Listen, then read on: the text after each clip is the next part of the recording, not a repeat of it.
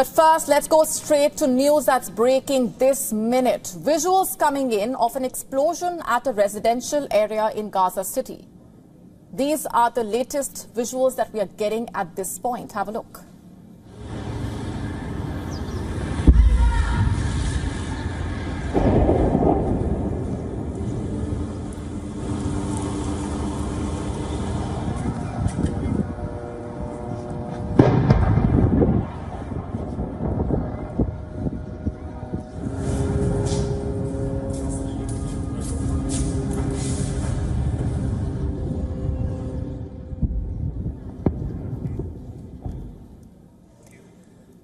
Palestinian Health Ministry says three Palestinians have been killed by Israeli forces in the West Bank.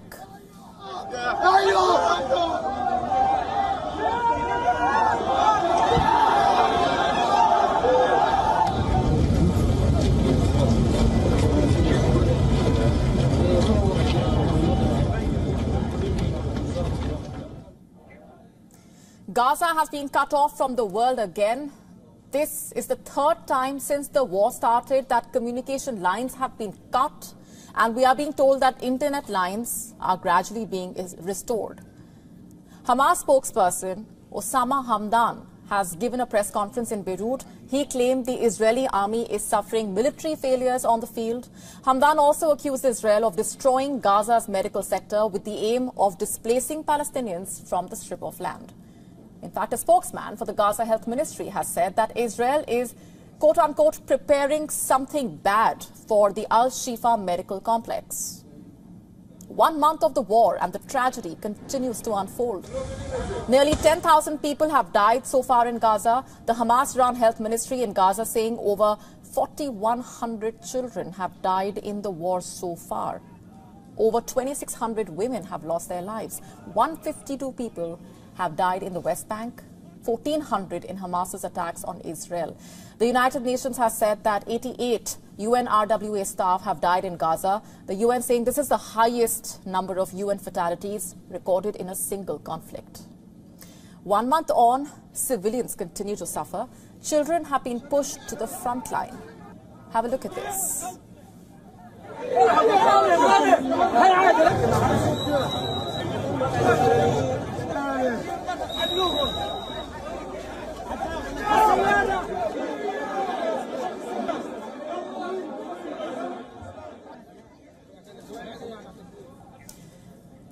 Children are being carried to a hospital in Gaza City. In the Gaza Strip, there is shortage of bread, shortage of water. This is Ankara. Hundreds are protesting against the U.S. Secretary of State Antony Blinken's visit to Turkey. Protesters are accusing the United States, in fact, of complicity in the death of the Palestinian civilians in Gaza.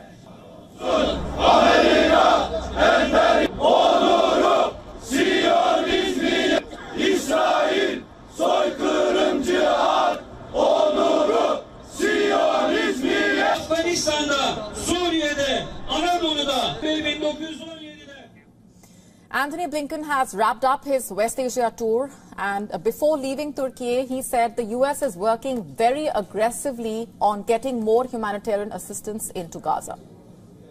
We know the, the deep concern here for the terrible toll that Gaza is taking on uh, Palestinians, on men, women, and children in Gaza, innocent civilians, a concern that we share and that we're working on every single day. This is Paris. This French Spider-Man is ascending the Paris Tower to call for peace in Gaza.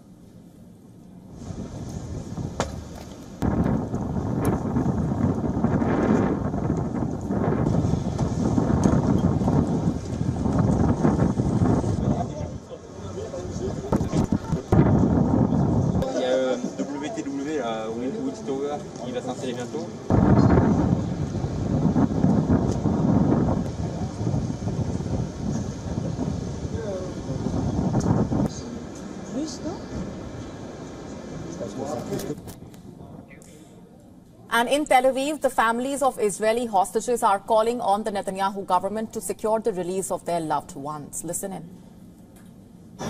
He's a therapist. He's a very kind person. we hope that he's helping also the other hostages, maybe the children. Romy is one of the best things in the world. She's my little sister, and we're a total of five siblings. She's the I'm the first one, and she's the third one. And she's like the glue that connects us together. We're asking that the first priority of the government would be to bring those people back now, immediately. Every day goes by, you know, we're all been some trauma, and I lost my grandfather, my uncle lost his house and their house. Israel has released this footage. It shows civilians walking towards southern Gaza.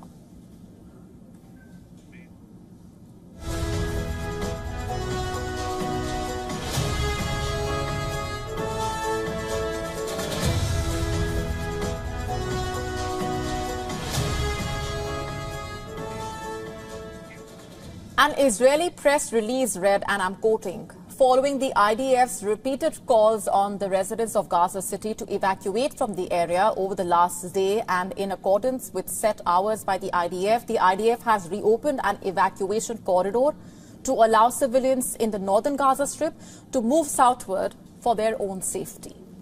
Chinese President Xi Jinping's dream project, the Belt and Road Initiative, has suffered yet another blow the Philippines has decided to exit it.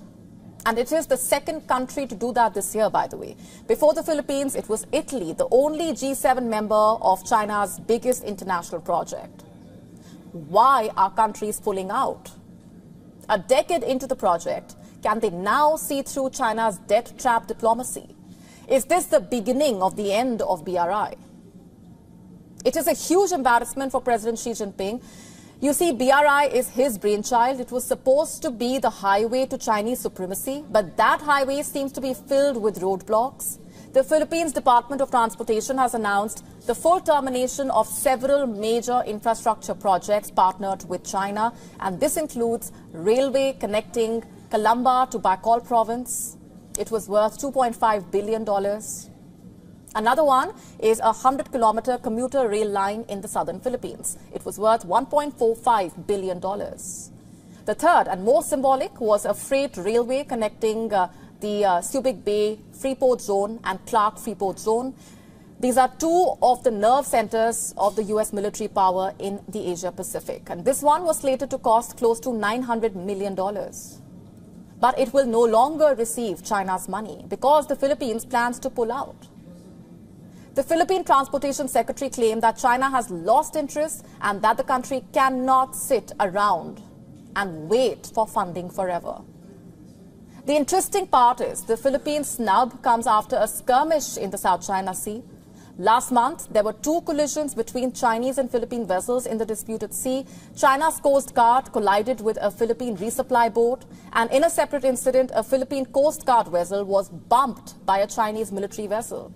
The Philippines, however, saying that it has nothing to do.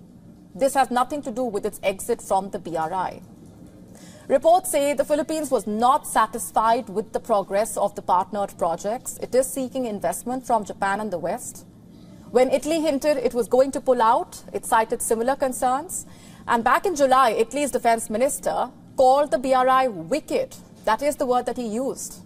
He said the decision to join the project was an improvised act that led to a double negative result. And this is bringing a great deal of embarrassment to China, to say the least. The ambitious infrastructure project just completed 10 years. Only last month, there was a lot of chest thumping. Beijing invited leaders and delegates from over 140 nations to celebrate BRI's decade-long journey. All this for what? The BRI has been failing to deliver what it actually promised. And this has been happening for some time now. Some poor nations stand knee deep in debt. In others, the projects have failed to yield the expected returns. The unkept promises have added up and the results are in front of you. Countries now want to opt out. They want nothing to do with the BRI. And this comes at a time when President Xi Jinping's leadership is under question. When Xi Jinping's unprecedented third term began, he stacked the top leadership with loyalists. Xi's hand-picked elite was supposed to pave the path for his grand vision for China, but months on, there is turbulence in China's top ranks. And we still don't know where the ousted Defense Minister Li Shangfu and Foreign Minister are. The downfall of Xi's own loyalists is reflecting badly on him. That aside, there are major economic troubles there in the country. It is plagued by a real estate crisis, high unemployment, and dwindling confidence among the investors.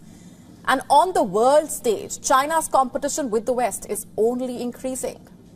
It seems like Xi Jinping's policies are not working out, neither at home nor outside. And there are questions around his judgment, a dampening international confidence in his governance.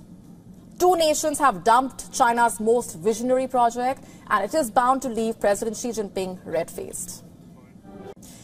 When Hamas operatives attacked Israel, the Canadian Prime Minister Justin Trudeau was prompt in his condemnation.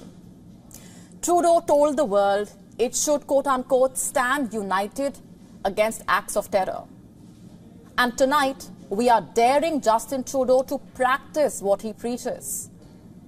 Stand against terror, Mr. Trudeau, and arrest Gurpatwant Singh Pannu. Can you do that? Pick up the phone and give that arrest order? Pannu is a Khalistani terrorist. He has threatened Indians, also millions of others who fly India's flag carrier Air India every year, which by the way also includes thousands of Canadians. Pannu has threatened to blow up an Air India plane. You heard that right. In a video released over the weekend, Pannu said, and I'm quoting, We are asking the Sikh people not to fly via Air India. After November 19, there will be a global blockade. Sikh people don't travel by Air India after November 19. Your life can be in danger. Now, this is not the first time Khalistani terrorists are targeting Air India. Let me just take you back to the year 1985.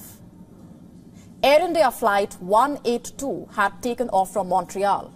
It was on its way to London. And from there, it would go to Delhi, followed by Bombay. The plane never reached its destination.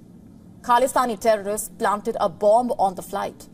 It exploded when the plane was mid-air, somewhere over the Atlantic. There were 329 people on board. 268 were Canadian citizens. All of them died. The bombing of the Air India Flight 182 is the worst terrorist attack in the history of Canada. Justin Trudeau's father, Pierre Trudeau, was Canada's prime minister back then. He was accused of not doing enough to prevent that tragedy. The mastermind of the bombing was a Khalistani terrorist, Talvinder Singh Parmar. One of the accused in this case was a man named Ripudaman Singh Malik. Canada acquitted him for lack of evidence. Malik was one of Pannu's closest aides and Gurpatwant Singh Pannu is trying to repeat history. Does Justin Trudeau have what it takes to crack down on this? For once, can Trudeau let the vote bank politics be? Arrest Pannu, interrogate him, jail him? Trudeau has everything he needs to act. There is evidence, also a solid, solid case. Pannu was born in Amritsar, India. He left the country to stir anti-India sentiments abroad and today Pannu leads a group called Sikhs for Justice. There is nothing right or just about this group. It is backed by Pakistan and the ISI. India has banned Sikhs for Justice. It is now on the lookout for Pannu.